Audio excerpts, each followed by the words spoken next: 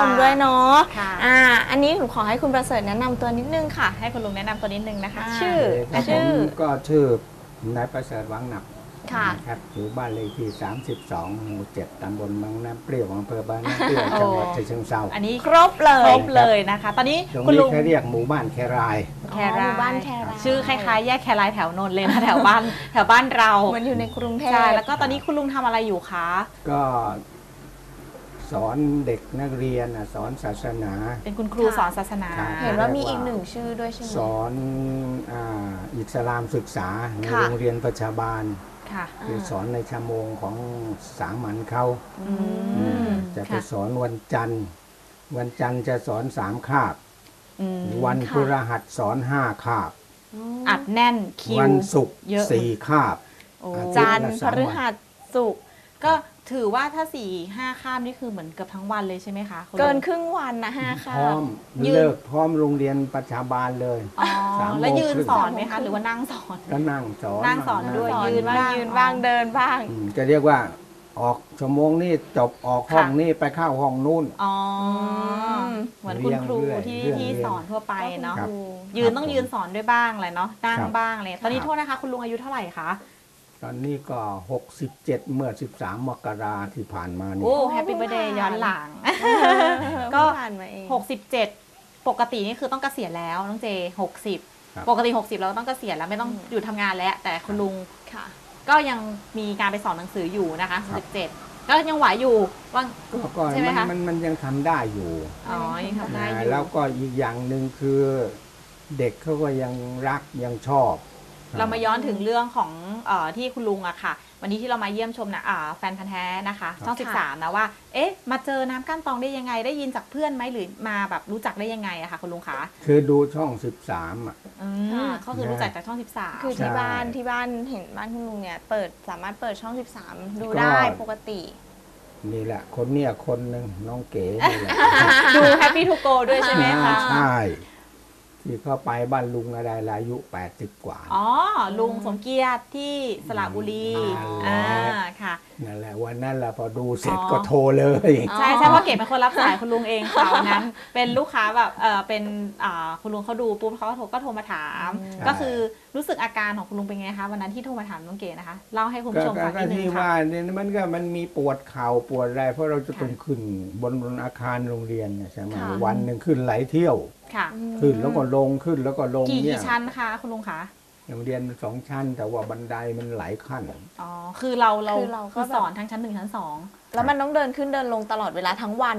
ทั้งวันทั้งวันอ๋อนะ คือข้ามนี้หมดชั้นสองบางทีอีกข้ามหนึ่งชั้นหนึ่งก็ต้องเดินลงครับ อืม ไม่มีลิฟต์เนาะสองชั้นเองเขาไม่ทำลิฟต์อยู่แล้วครับผม นะคะ แม่ก็เป็นการค่ะ บริหารร่างกายไปด้วยด้วยอืมเออแต่นี่ว่าเวลาเรากลับมาถึงบ้านปุ๊บเนี่ยมันจะค่ะปวดเข่าปวดเข่า ปวดเข่า อ่าเนี่ย อาการที่ที่ที่อันดับแรกเลยที่เรานึกถึงเลยก็คือปวดเข่าใช่ไหมคะครับ อืม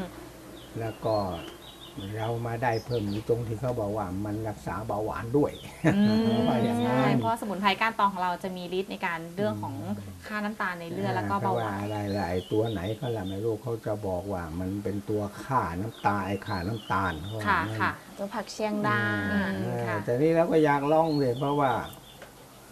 ไอ้เรามันคนอยากลองอยู่แล้วใช่ไหมค่ะแล้วพอเราลองแล้วปุ๊บเนี่ยถ้าได้ผลแล้วก็จะบอกคนข้างเคียงมไอ้ที่เขาลำบากเหมือนเราเนี่ยเอออยากจะให้เกี่ยวเขากับสสุขบายภาพใช่ไหมคะอ่าแต่ใช่ขอบอกว่าคุณลุงประเสริฐนี่ไปแนะนำแนะนำเพื่อนหลายคนแล้วนะคะค่ะเพราะว่าคือเขาได้กินดีแล้วบอกต่อได้บุญนะคะคุณผู้ชมอืมเนาะก็คือได้คือประจวบกับหมอเรื่องของคุณลุงเป็นเบาหวานด้วยใช่ไหมคะครับคุณลุงเป็นเบาหวานมานานหรือยังนะคะตั้งแต่ปีสี่สี่อะ ก็สิบกว่าปีได้ใช่ไหมคะตอนนี้ก็คือทานยาคุณหมอมาตลอดเลยใช่ไหมครัคะบอืมทุกวันนี้ก็ยังทานควบคู่กับเครื่องดื่มสมุนไพรก้านก็ตอยังงทานอยู่อืมก็ตั้งแต่ผมเป็นมาแล้วก็มีเมื่อเดือนที่แล้วผมไปหา หมอเพิ่งจะชมผมอ๋อหมอชมด้วยว่าน้ำตาลดี ความดันดีอ๋อความดันดีเนาะค่ะอ่าแล้วคุณของคุณลุงนี่ทานตัวน้ำก้านตองนี่คือสูตรไหนอยู่อะคะ ก็สูตรเบาหวานเนี่ยแอคอ๋อต้าสูตรอะไรเอ็กอะซ์ตร้าอ่าก็คือสูตรเอ็กซ์ตร้ามันจะมีเรื่องของผักเชียงดาด้วยค่ะคุณผู้ชม ซึ่งที่คุณลุงจำว่าจำได้แค่ค่าน้ำตาค่าน้ำตาลลแค่ค่ารู้รู้อย่างเดียวว่ามันค่าน้ำตาลแต่จำไม่ได้ว่าคืออะไรก็คือครับ ผักเชียงดาเนี่ยแหละค่ะแต่ที่มันว่าเพิ่งจะดูผ่านไปเที่ยวเดียว อ๋ออืมค่ะค่ะคุณลุงเพิ่งสั่งอ่าหมายถึงว่าไอตัวน้ำก้านตองมาทานใช่ไหมครัคะบ ได้ก็คือสูตรเอ็กซ์ตร้าแล้ว ตอนทานเนี่ยเอ่ออาการที่ก่อนโทษนะก่อนทานเนี่ยมันมีอาการผิดปกติมากกว่าเขาแล้วก็เป็นเบาหวานไหมคะ ครับมีมันจะนอนแบบพอสักสองชั่วโมงเนี่ยมันจะต้องตื่น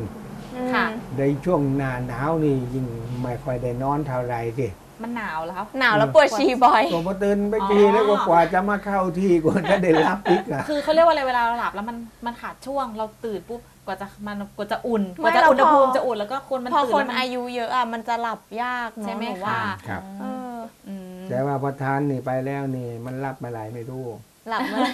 แต่คุณลุงบอกว่า หลับคือไม่ได้ตื่นมาฉี่เลย คุณลุงบอกว่าหลับกี่โมงนะคะเมื่อกี้ เมื่อคืนนี่เข้านอนประมาณสี่ทุ่มครึ่งแหละเออตื่นกี่โมงเพิ่งเมื่อคืนเลยนะ มาตื่นตีสี่ตื่นตีสี่โอ้ก็คือหลับเจ็ดชั่วโมงยาวหลับยาวได้เวลาที่ต้องละหมาดเนี่ยมันจะตื่นทุกครั้ง คือตอนนี้คุณลุงกินเช้าหรือเย็นคะที่กินหรือว่ากินทั้งสองเวลาเลยค่ะสองเวลาคตื่นรั้งละประมาณ ก่อนอาหารเช้าก่อนอาหาร30ซีซีสามสิบซีซีค่ะสามสิบซีซีแล้วก็ก่อนเข้านอน ค่ะเท่ากันเลยเหรอคะสามสิบซีซีครับอ๋ออม ก็คือกินมาแบบว่าครึ่งขวดประมาณนี้ใช่ไหมคะ ครับ แต่คุณลุงก็ถือว่าก็คือสมใจที่ที่เราหมายถึงว่าที่เราคาดว่าน่าจะได้จากน้ำก้านตองนี้ก็พึก็งพอแข็งใจแรงนะเลยครับ อืม แต่เรื่องของเบาหวานก็ต้องต้องเห็นคุณลุงจะไปตรวจอีกทีด้วยด้วยไหมคะว่า ค่าค่า เบาหวานจะเป็นอย่างไร สงสัยรอบนี้คุณหมอสามบอกเดือนว่าสามเดือนครั้งเออหนูว่ารอบนี้หมอต้องบอกว่า ยี่สิบสองเมลุงแข็ษางหแรมองแล้นัวดไว้อะไรนะคะยี่ยี่สิสิบบสสอองงเมเมษาษา หมอนัดไว้ อ๋อเดือนก็คือครบรอบพอดีสองเดือนสามเดือนสามเดือน นะคะเดี๋ยวก็รอลุ้นกันเนาะใช่อืม แต่อาการที่คุณลุงได้เห็นค่ะใกล้ที่แบบที่เห็นได้ชัดเจนเลยก็คือเรื่องเนี้ยค่ะ ค่ะ คือผมเนี่ยจะเจาะเองที่บ้านก่อน อ๋อมีเครื่องเหรอคะอ่านี่มาเช้านี่มันมาเย็นวันวานนี่ก็เจาะเป็นไงบ้างคะตื่นคุณนลุงอนมาตอนตีสี่ก็เจาะค่ะน้ำตาลร้อยสิบแล้วค่า110ปกติมันอยู่หนูที่ถือว่าไม่สูงนะคือถ้าปกติค่ะของคนที่ไม่เป็นนี่มันก็จะประมาณร้อยหนึ่งโอ้แสดงว่าเกินมาถือว่สิไม่บสูงอืมหรือไม่ก็ต่ำร้อยนั่นอืมคนที่ไม่เป็นมันก็แล้วแต่สภาพของคนมันไม่เท่ากันหรอกค่ะค่ะ อย่างระบบความดันเนี่ยก็เหมือนกัน บางคนก็ร้อยยี่ร้อยยี่สิบแปดสิบอืมบางคนก็อาจจะร้อยสามสิบค่ะแปดสิบแล้วแล้วที่คุณลุงบอกว่าตอนที่คุณลุงเจอเป็นเบาหวานอะตอนนั้นค่าน้ำตาลเท่าไหร่คะมันก็เคยสสูงวิงเท่าไหร่มันเคยสวิงขึ้นสวิงลงอยู่ สูงที่สูงถ้าสูงสุดที่นี่ประมาณเท่าไหร่ของคุณลุงเมื่อตอนช่วงเดือนบวชเมื่อปีกลายเนี่ยมัน ค่ะคล้ายๆกับว่ากลางวันเราอดอาหารใช่ไหมพอมื้อเย็นเนี่ยเราก็กินอาหารหลายอย่างแล้วก็ส่วนใหญ่ คนเราเนี่ยพอมันอดมากๆ แล้วอกมันจะแห้งใช่ไหมพอแก่บวชได้ในช่วงหกโมงเย็นเนี่ยก็กินหวานกินอะไรก็ไปไงค่ะกินแล้วก็ไม่ได้ไปทำอะไรสิไปเดี๋ยวกินแล้วก็นอน ร้อยเท่าไหร่คะช่วงนั้นหมอถามว่าไปทำอะไรมาเนี่ยลุงเพราะว่า เงินตังสองร้อยกว่า สองร้อยสองร้อยเออ ใช่ไหมคะสองร้อยพุ่งกว่า ปรี๊ดคุณลุงเคย อะไรเงี้ยเขาเรียกว่าทำทำสถิติไหมว่าก่อนกินก้านตองคุณลุงตรวจก่อนไหมว่า ก่อนกินก้านตองอะที่ที่ครึ่งก่อนครึ่งขวดอะคุณลุงประมาณค่าประมาณเท่าไหร่ พอจะจำได้ไหมคะเคยเคยเคยเจาะดูไหมคะ ก็มันก็อยู่ในระดับเนี้เราอะอย่างดีก็เอาร้อยสี่สิบ ร้อยสี่สิบก็ถือว่าสูงอยู่เหมือนกัน ร้อยสามสิบอันนี้คือก่อนทานใช่ไหมคะ สวิงขึ้นสวิงลงอ๋อบางวันเขาก็ ลงมาเหลือเก้าสิบเจ็ดอือืมมเก้าสิบห้ามันก็แล้วแต่มันก็หมุนอันเวียนี้นได้ควบคุมอาหารด้วยไหมคะ ก็ก็มันมันอย่างนี้ เคยเถียงกับหมอ หมอบอกว่า อย่ากินของมันมากนัก อย่ากินหวานมากนักค่ะ ก็บอกว่าหมอผมนะไม่ได้กินเยอะหรอกนะผมไปงานหนึ่งกับสองช้อนสามช้อน แต่วันละแปดงานแล้วหมอจะว่างไง คุณลุงมีเหตุผลเออมไม่กินเยอะ แต่กินบ่อยก็มันญาติทั้งนั้นเนี่ยอ่าใช่ไหมล่ะค่ะเราไม่ไปไปแล้วไม่กินเขาก็ว่าอีกเอาหน่อยนะเอาหน่อยนะอ๋อใช่ไหม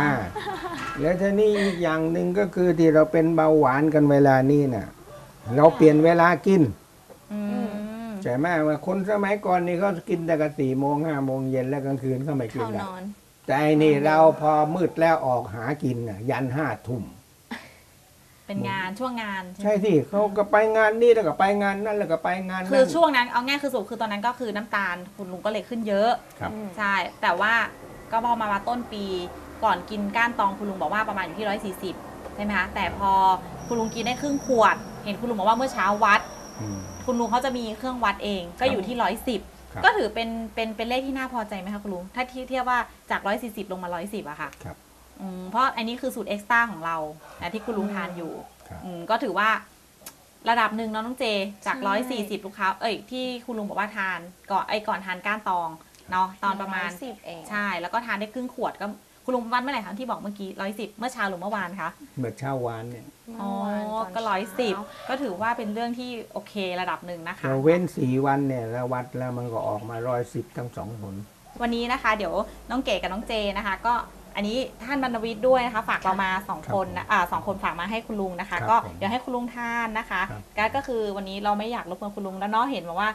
เอ่อเดี๋ยวจะมีสอนด้วยไหมคะ วันนี้ไม่มีไม่มีวันนี้ไม่มีอ๋อวันนี้ไม่มีใช่ไหมคะ แต่เมื่อกี้มาเห็นคุณลุงนั่งดูทีวีช่อง 13 สยามไทยเราด้วยนะคะอ๋อเนาะแล้วยังไงวันนี้เดี๋ยวเราก็ไม่รบกวนคุณลุงอันนี้ฝากไว้ให้คุณลุงแล้วกันนะไว้กินกับครับผมควบคู่กับขเอ็อบกซ์คุต้าณนะมากคะค่ะนะคะขอบคุณค่ะ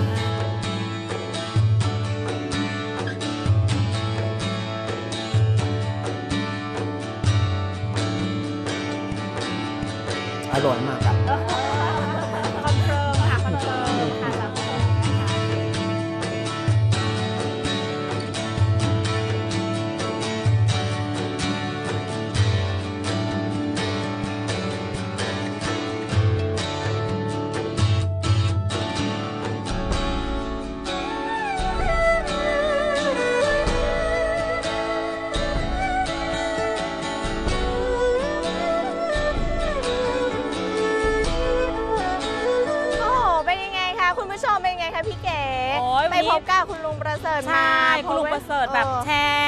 ดีๆ ให้เราตั้งหลายอย่างเลยนะน้องใช่เจนเนาะใช่เป็นประสบการณ์โดยตรงนะคะของคุณประเสริฐเองนะคะ ซึ่งคุณประเสริฐเองก็บอกว่าค่ะเนี่ยเขาอยากจะบอกต่อด้วยเลยผ่านมาผ่านทางเราด้วยใช่ไหมพี่แฮใช่มอยากให้บอกต่อ แล้วสังเกตอาการง่ายๆเลยนะคะ คือนอนหลับสบายขึ้นอ่าปวดเข่าปวดข้อหายนะคะเออไม่ถึงกับหายบอกว่าอามันการดีทุเลาลขึ้งนนะคะ แล้วก็เพียงแค่ครึ่งขวดเท่านั้นเองที่คุณประเสริฐได้ทานไปใช่ค่ะนะที่เห็นได้ชัดเนาะน้องเจนเนาะเออใช่ เพราะว่าคุณลุงประเสริฐเนี่ยทานมาครึ่งขวดแต่ว่าสิ่งที่ที่บอกเมื่อกี้นะคะ ก็คือคุณลุงบอกว่าอาการที่เห็นได้ชัดคือนอนหลับคือยาวเลยอะตีสี่ครึ่ง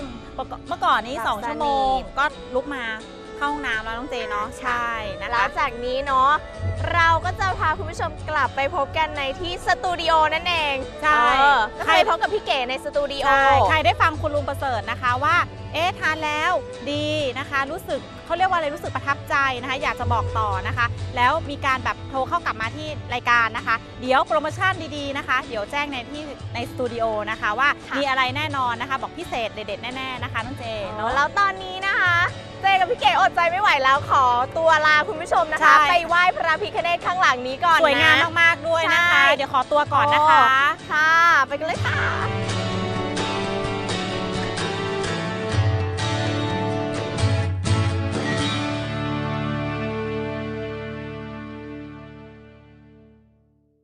ค่ะค่ะจบไปแล้วเนาะจบไปแล้วเนาะมษสำหรับ อ่า VTR ขค่ะ องแฟน VTR ช่อง 13 ของเราที่ใช่เป็นแฟนน้ำก้านตองตัวจริงด้วย แฟนนางก้านตอนพันแท้เลยใช่นะคะก็คือมีความที่ประทับใจด้ในประสบการดื่มน้ำก้านตองของเรา